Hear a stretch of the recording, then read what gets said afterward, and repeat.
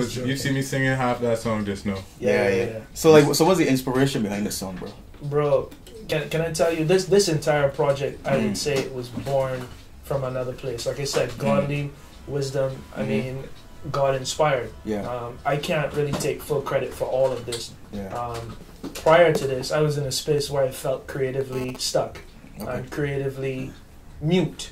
Uh, And I, I remember going into the studio one night, it was probably like 3 a.m.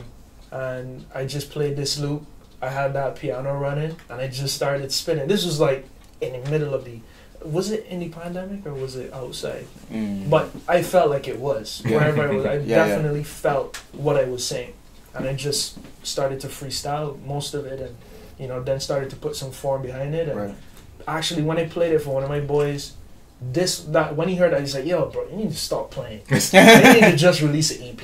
Yeah, yeah, you know yeah. what I mean? Yeah. At that point, I didn't really even really have a plan of releasing any song. I mean, I think I Mhm. might have done other songs, but then it just felt like something that was right, you know. Mhm. But yeah, as far as inspiration, you know, the song speaks for itself. Being in a place where you you are recognizing the the challenges of living a real life, Yeah, but yet there is still a hope. You know, yet you're Mm. still being driven by something to to to continue to keep going on, and Mhm. that's really what the song is about. You know, in Mm. flesh. Yeah. A lot of people don't. A lot of people don't realize what really goes into creating.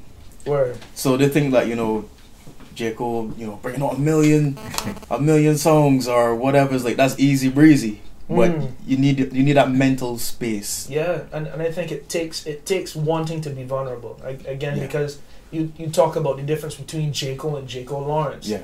Jaicko Lawrence is the person that's willing to be vulnerable, willing to make music that Mhm. I'm really talking about things that I am experiencing, Right. and I feel like that's the best way to connect with people. You know, because especially now we all going through, we all facing things that are real. And it's very spiritual as well. I, I noticed that that transition in your in your music as well, and Right. Yeah. your Yeah. delivery and everything is you know very very godly and you know. Cerebral. Hey. wow. I see, the, I see, the, I see the earring dangling. You see this, you see this? oh crap! Now I gotta go and get a dang ear. All right, all right. Next week. Next Nah, week. you good, you good. It'll be too obvious if you do it next week. Oh man.